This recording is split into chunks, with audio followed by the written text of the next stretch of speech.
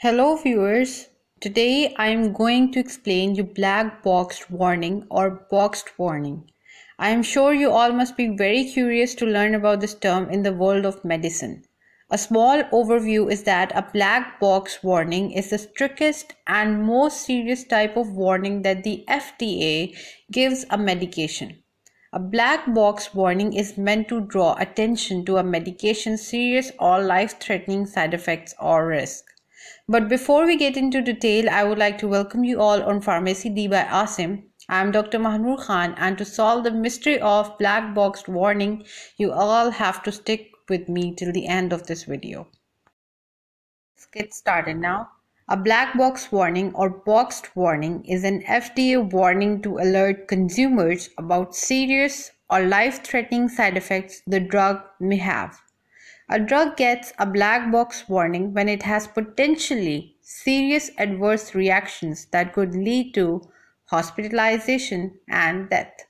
A black box warning also explains how the reactions may be worse in certain groups of people, such as for women who are pregnant or for children or the elderly.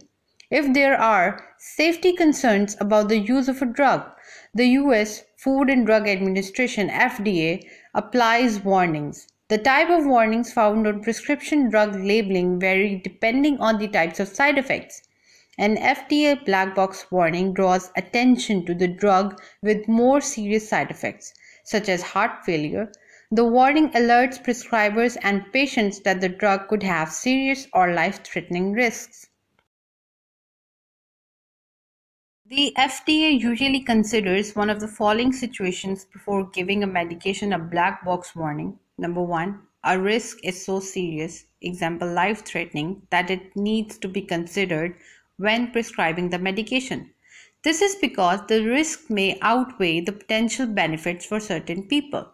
Number two, serious side effects or risks could be lessened or prevented by appropriate use of the medication. This includes monitoring for certain lab values or avoiding medications that could interact. Number three, certain restrictions need to be applied to the medication to ensure safe use. This might include special training to prescribe or dispense the medication. Certain populations, example, pregnant people may need to avoid the medication. Dear viewers, do you know that over 600 medications have black box warnings and 40% of the people are taking at least one medication with a black box warning? Here are some of the most commonly prescribed drugs with black box warnings listed on the medication guide. Number 1. Bronchodilators, LABAs, and steroidal anti-inflammatory agents. They might cause increased risk of asthma-associated deaths. Number 2. Certain analgesics or narcotics. They cause dependence on the drug or addiction. Number three, antidepressants. Antidepressants are medications that treat depression and other mental health conditions. Antidepressants may raise the risk of suicidal thoughts and behaviors, especially in children and young adults under age 25 are at higher risk. Number 4. Ticagrelor, which is an antiplatelet drug and has a black box warning for causing significant and sometimes fatal bleeding. Number 5. Fluoroquinolones, which is a class of antibiotics and they might cause risk of tendinitis and tendon rupture across all ages. Number 6. Methotrexate, which is an immunosuppressant and it can increase risk of end-stage liver disease. Number 7. Tigecycline, which is a drug from tetracyclines and increase in all-cause mortality.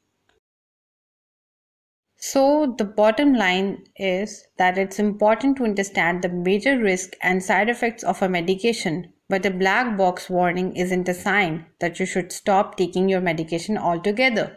A black box warning isn't meant to completely rule out the use of a medication. Its purpose is to bring attention to important information when you use it appropriately, a medication with a boxed warning can be a safe and reasonable treatment option. So viewers, that's all for today. I hope you liked the video. Please like and share and subscribe to our channel Pharmacy D by Asim. Thank you.